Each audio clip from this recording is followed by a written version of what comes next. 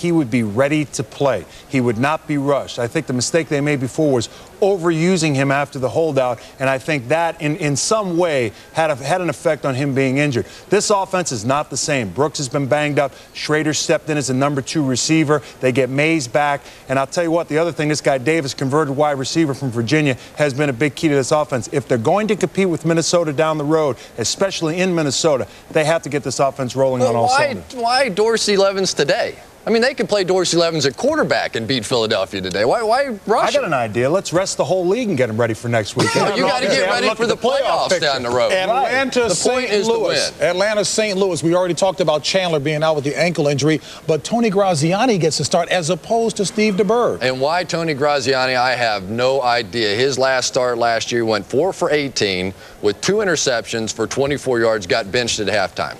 Steve DeBerg has already won one game for you in relief so far this season, had a bad outing against the Jets. Well, guess what? A lot of quarterbacks have had bad outings against this Jets defense this year. Just ask Steve McNair last week, got absolutely none. I would be with Steve DeBerg today, absolutely. Put me on a jet. Let me run down to St. Louis. I won the game real quick before I be back for post game. All right with y'all? You're that good. Uh, hey, not that good, but I just think I can make get it back for You know what? This Atlanta Take the defense. rest of the day off, Just a man. second. I got something to Fly say. home I have that. studied this Atlanta defense till I. It is.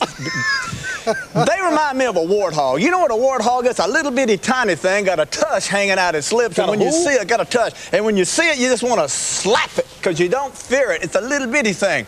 But this is what they are. They're like warthogs. They will not, and they're vicious. You corner them, and they get after. you. That's the Atlanta defense. They're not. When you know, you ever seen a warthog? Howie, in D.C., I don't think I've ever A seen warthog. a little- running well, that's around. this Atlanta defense. The only problem is we got to come up with some cheerleaders that goes with a warthog, and I don't know what that'd be. How long has this been?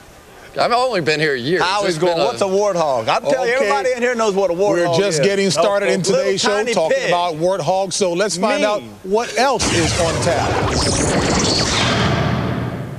Coming up next on the one and only Fox NFL Sunday. They've got talent up the gazoo, and they're the talk of the NFL. But can the Denver Broncos go undefeated for an entire season? Suzy Kolber talks to the Mile High men who are getting close to making history. And two very different receivers. We'll talk with the athletic and loud Jet, I got a hell of a reputation, don't I? as well as the overachieving and quiet Jet. Then they said he's done. But now the only thing done for Dan Marino is all the he's done talk. Terry Bradshaw gives Dan the Man directions to Canton, Ohio, as these QBs go one on one. The one and only Fox NFL Sunday is brought to you by Gateway. Let's talk about your Gateway. By Pizza Hut, home of the stuffed crust pizza, the most fun you can have with a pizza. By National Car Rental. So what are you waiting for? Let's go. And by Energizer Advanced Formula Batteries. No battery lasts longer. The votes are in, and the nominees for Howie Long's Viewer's Choice Tough Guys are Randall, Davis, Emmett, Jamal, and Favre. That's right. You, the fan, picked these finalists, and now you, the fan, have one last chance to decide the NFL's toughest guy. Just go online to foxsports.com, cast your